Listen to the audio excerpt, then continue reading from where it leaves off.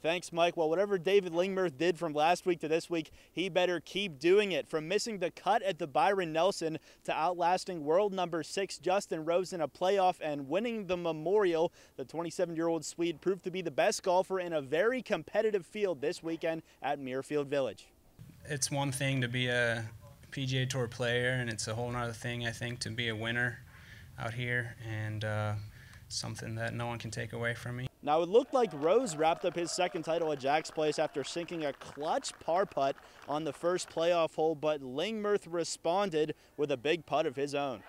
I've been in a few playoffs. Uh, you win some, you lose some, but I didn't feel like uh, it was my turn to lose this time. I thought I, I would. Uh, uh, yeah, I was telling myself that I was going to make that putt. If he looks back, he's won this tournament. He needs to look back at that putt that kept it going on, on the first extra hole. So uh, it was a great putt to make. Boy, did he play well coming down the stretch.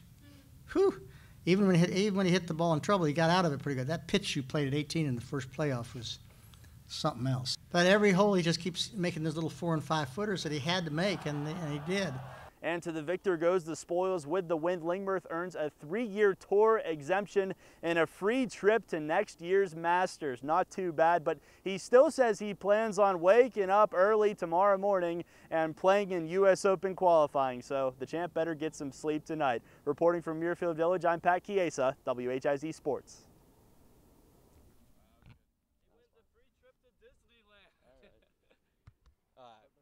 Uh, and now it's time for my